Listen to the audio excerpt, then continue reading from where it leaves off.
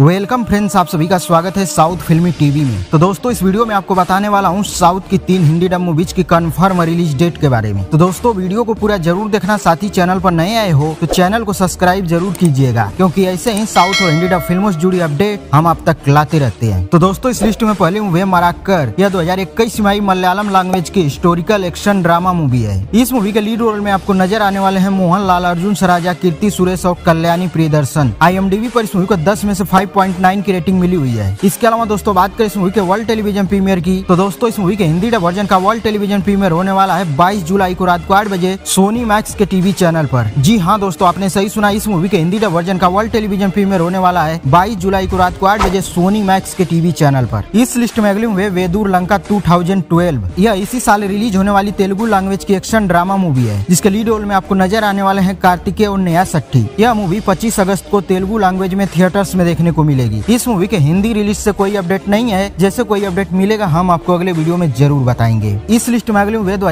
में आई Kannada action drama movie Sarkar, जिसके lead role में आपको नज़र आने वाले हैं जागुर, जग्गी और लेखा चंद्रा। इस मूवी का हिंदी वर्जन अवेलेबल हो चुका है वाम इंडिया मूवीज़ के यूट्यूब चैनल पर। अगर अभी तक आपने नहीं देखा है तो जाकर देख सकते हैं। तो दोस्तों, इन तीन मूवी में से आप किस मूवी को देखने के लिए ज़्यादा एक्साइटेड हैं, आप हमें कमेंट सेक्शन में बता सकते हैं। तो दोस्तों, यहीं तक था एक छोटा सा वीडियो उम्मीद करता हूँ वीडियो आपको पसंद आएगा वीडियो पसंद आए तो वीडियो को एक लाइक और शेयर ज़रूर कीजिएगा। मिलते हैं हमारे अगले वीडियो में। तब तक के लिए बाय बाय टेक केयर